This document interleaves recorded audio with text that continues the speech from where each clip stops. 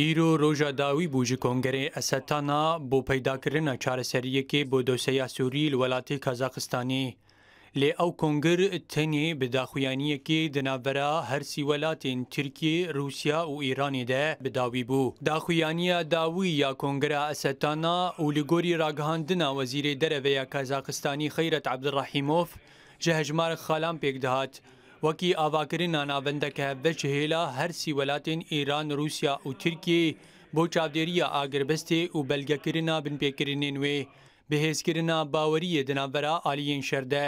تەکەزیە عالیین هەفدیتنان لەسەر شەڕێ گرروپێن تەرۆر وەکی عنیە فتح ئەشام و داعشێ. یەکرێزیە خاکە سووریێ هەروسا سووریە وەلاتێکی ژپێک هاتە و ئۆلین جودا پێکتێ. لی سەرۆکی شاندارێکبەریە بۆ ئەسەتانە محەممەد علوش دو کۆنگەرێک ڕۆژنەمەوانیدا دلگەرانیە خوا لە سەرهن بندێن داخوییانە داوی یا کۆنگری ئەسەتانە ئەشکرە کرد. bi taybetî bendê girêdayî çavdêriya Îranê li ser agirbestê herwêsa nîşandana wê wekî welatekî misoger ji wê agirbestê re. Di haman demê de û her li ser nerîna şandarîkberiyê li serdaxuyaniya dawiya havdîtinên esetana Şêwermendê yasayî ya Ardêşa Azad û yek ji endamên şandenya rikberiyê Usama Ebuzêd ji alavên raghandinê re dazanîn. Godaxuyaniya dawî tenê daxuyaniyek di navbera Tehran, Mosko û Enqerê de ye. Û rêkberî ne beşeke ji wê daxuyaniyê.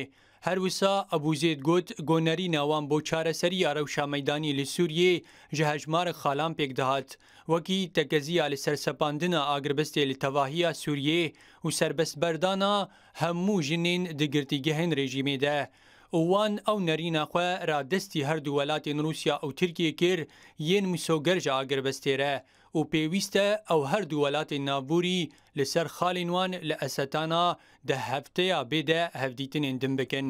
دداویە گوتنە خودە ئەندامی شانداریکبەریە بۆ ئەسەتانە ئوسامە ئەبوزێت دیار کرد، گۆڕۆلا رووسیا وەکی وڵاتێکی میسۆگەرژ ئاگربەستێرە دێبە ئاوایەکی زەلال بێ ئەشکەرەکردن دەماگۆ ئەوکاری بە رێژیمێ وملیشەیەن ئێرانی لە سووریێ پابندی ڕێکەفتنا ئاگربەستێ بکە و ئەگەر ئەو یەکبیجیهنەیە ئەو تێواتەیە تێکجوونا ڕێکەفتنا ئاگربەستێ هەروسا هەفدیتنین ئەسەتانە.